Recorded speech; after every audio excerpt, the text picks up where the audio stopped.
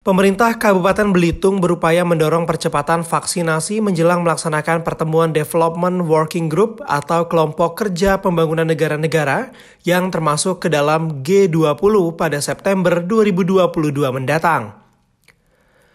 Dengan percepatan vaksinasi dan tercapainya target 100%, diharapkan dapat merubah kondisi penyebaran virus COVID-19 di Kabupaten Belitung dari pandemi menjadi endemi.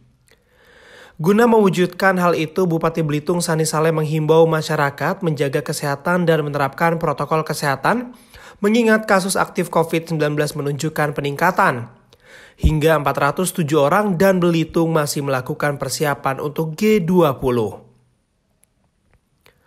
Bupati Belitung Sani Saleh mengatakan meskipun terpapar COVID-19, kondisi orang yang divaksin akan lebih baik dibandingkan orang yang belum divaksin untuk hal ini ya penanganan masalah virusnya kayak hmm. pertama dari, sudah ada standar standarnya pertama hmm. eh, vaksin. Vaksin kita ngejar vaksin ya.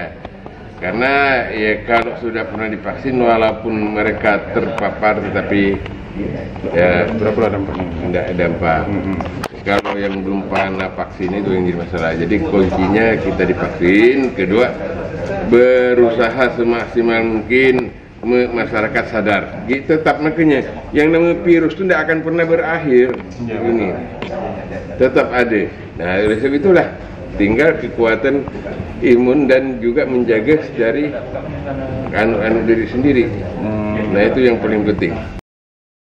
Bupati Belitung berharap masyarakat dapat berperan serta mendorong percepatan vaksinasi terutama kalangan lansia yang dinilai rentan terpapar COVID-19. Dari Kabupaten Belitung, Juprianto, TVRI Bangka Belitung melaporkan.